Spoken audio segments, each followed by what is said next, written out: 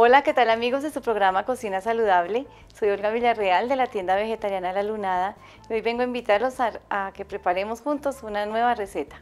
Los invito a que tomen nota de los ingredientes que aparecen en pantalla. Hoy en Cocina Saludable prepararemos unas exquisitas albóndigas de quinoa.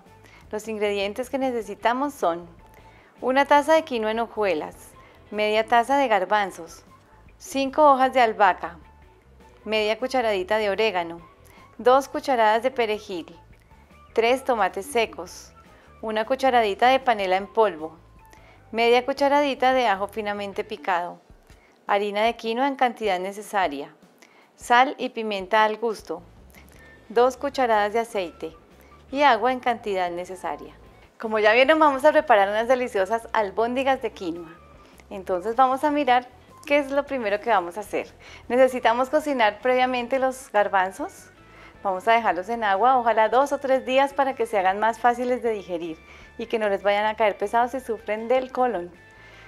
Los dejamos en agua, les vamos cambiando el agua cada día y al tercer día los vamos a cocinar en la olla, en la olla a presión hasta que estén bien blandos.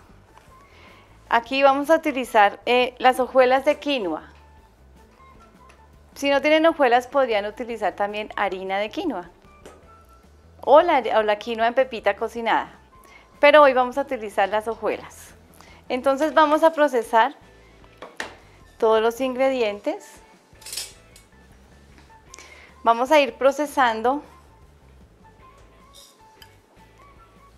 hasta formar una masa suave y que podamos armar las albóndigas. Listo, agregamos acá la taza de hojuelas de quinoa, los garbanzos. Pueden también usar, si no tienen garbanzos cocinados, de pronto les quedaron algunas lentejas o frijoles, también las pueden utilizar.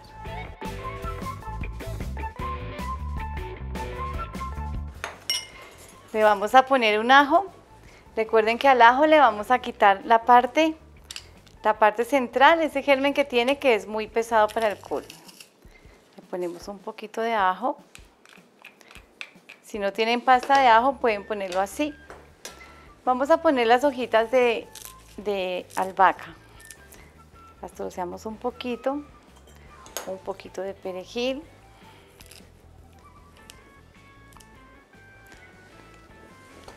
Le ponemos un poquito de panela, panela en polvo, si tienen melado, el peladito ya preparado también Y estos son los tomates secos. Si tienen tomates eh, así, que estén en aceite, los pueden agregar de una vez. Si los tuvieran secos totalmente, entonces los hidratan previamente en agua caliente. Vamos a procesar.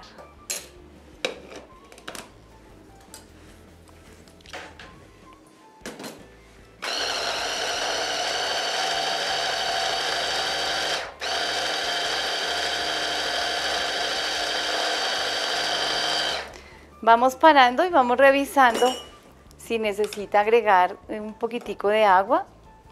Vamos a ponerle un poquito para que nos dé más consistencia en el momento de procesar.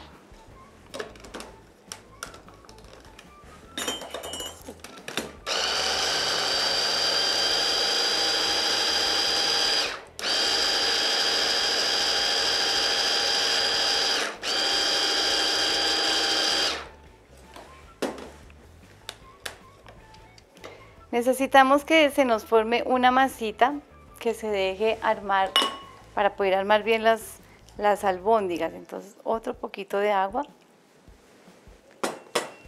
y volvemos a procesar.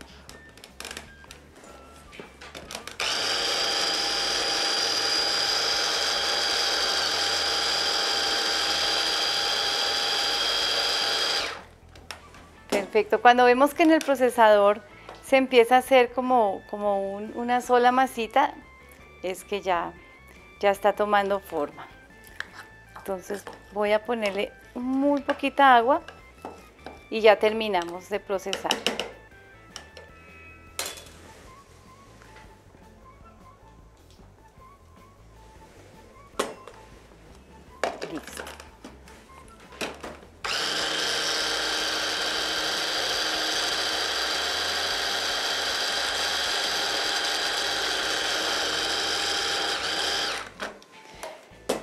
Si no tienen un procesador, pueden hacer esto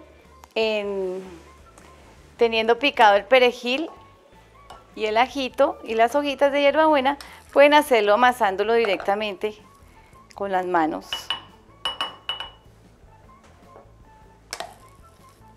Ya nos quedó una masita lista para armar. Vamos a pasar las albóndigas por un poquito de harina de quinoa.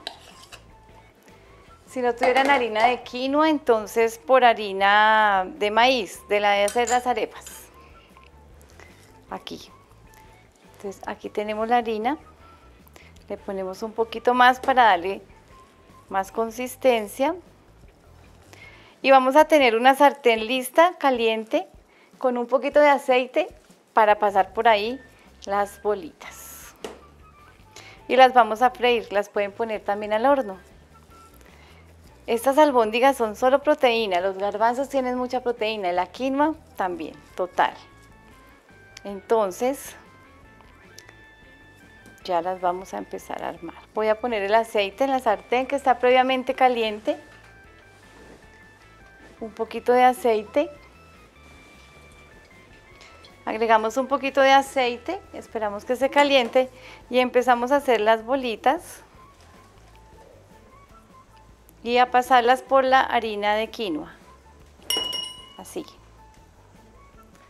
Y las vamos a poner a freír. Esperamos que se caliente más, mientras tanto las voy haciendo.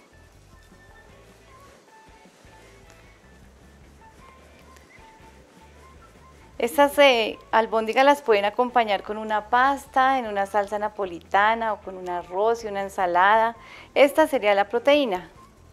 Aquí está completa. O si no, si no las quieren freír, las van a poner al horno. Voy a ir poniendo estas.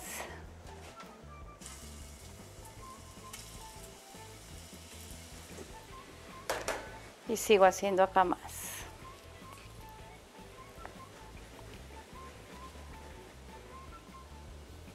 Es importante que las pasen aquí al final por la harina de quinoa o de maíz, alguna harina que nos ayude a compactar un poco más las albóndigas.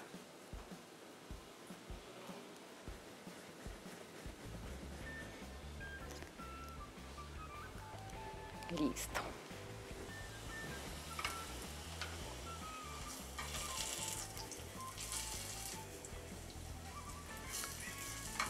Las vamos a ir volteando hasta que queden doraditas por todas partes.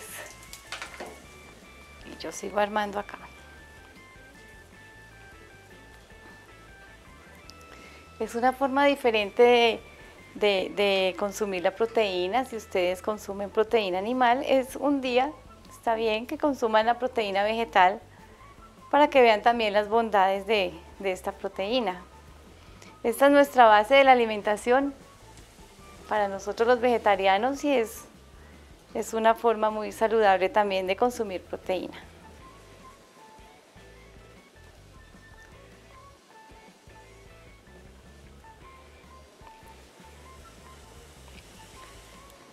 Listo, ya termino con esta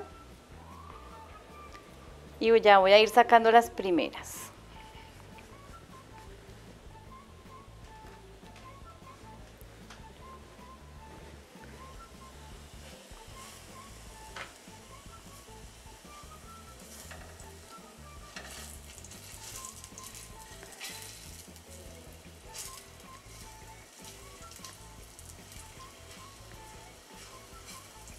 Lisa, como aquí todo está precocido, pues las hojuelas de quinoa son precocidas, el garbanzo también, solamente estamos es dorándolas. Le voy a agregar un poquito más de aceite. Vamos a las manos acá. Le ponemos aceite. Y ahí siguen dorándose y ya, ya puedo ir sacando las primeras.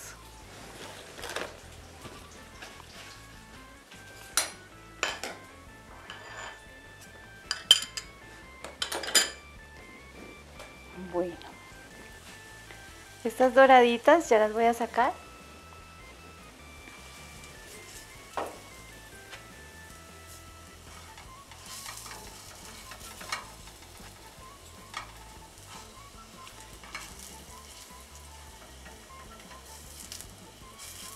Bueno, y vamos a preparar un platico donde las vamos a servir.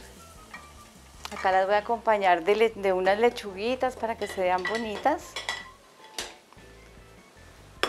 Mientras terminamos de freír las otras. Recuerden que nos encuentran en Galerías en Bogotá, en la calle 52 con 23 en Galerías. Nos pueden visitar también en la página web. Estamos en www.lalunada.com, donde ustedes pueden eh, encontrar toda la programación de los cursos virtuales, de los cursos presenciales. También estamos en Facebook, nos encuentran como La Lunada Tienda Vegetariana. Y en Instagram nos encuentran como La Lunada Cocina Saludable. Eh, además en www.latiendanaturista.com también nos pueden encontrar y ver la misma programación Voy a ir poniéndolas acá mientras saco estas.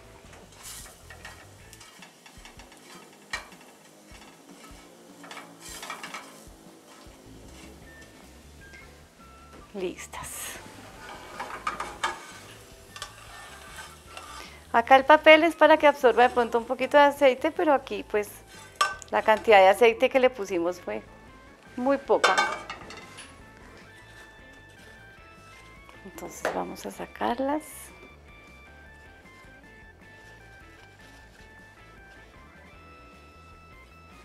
Vean qué ricas. Pueden hacerlas también como forma de nuggets, aplanándolas un poquito. Aquí con una lechuguita, la sirven con una ensalada, con un carbohidrato para que quede completo. Eh, todo el, un plato bien, bien equilibrado, proteína, carbohidrato, y una buena ensalada. Me encantó estar con ustedes, espero que les haya gustado esta receta del día de hoy. Espero acompañarlos en una próxima oportunidad y que ustedes también estén conmigo. Hasta pronto.